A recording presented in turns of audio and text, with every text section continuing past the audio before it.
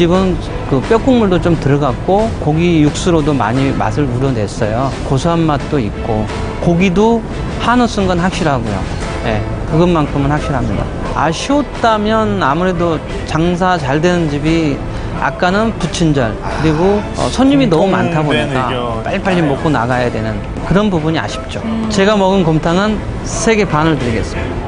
빨리 먹고 일어서야 된다는 부담감과 역시나 서비스에 아쉬웠대요. 세 개 반을 드리겠습니다. 모든 손님들을 만족시키기란 상당히 어려운 일인데 오랜 손맛이 대대로 전해져 내려와 그 맛을 계승해 나가는 이곳의 곰탕. 직접 맛보지 않곤 판단을 하기엔 어려울 것 같습니다. 현재까지도 이렇게 내려왔지만은 앞으로도 이 맛을 영원히 지키기 위해서 우리 딸하고 노력을 많이 하겠습니다. 한국 전통 음식 곰탕.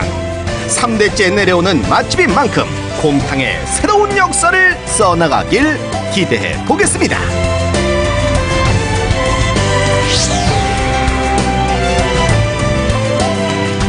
네, 이대 사장님은 저를 기억 못 하시겠지만 저는 기억합니다. 사장님을. 저도 즐겨 찾아갔던 네. 곳인데 사실 이제 내일부터 전국적으로 비가 오고 나면 진짜 본격적인 가을 추위가 시작된다 그러거든요. 이렇게 날씨 쌀쌀해지면 뜨끈한 국물 생각이 네. 납니다. 곰탕도 있고요.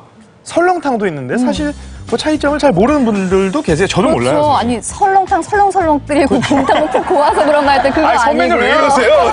자, 설렁탕은 소머리와 양지머리, 기타 소 부위가 들어가고 곰탕은 내장이나 보통 고기 위주로 들어간다고 그런 차이가 합니다. 둘다 맛있어요. 아, 네. 네, 저희가 준비한 소식은 여기고요. 잠시 후 8시 30분에 생생정보 또 플러스로 다시 인사드리겠습니다. 생생 정보 터!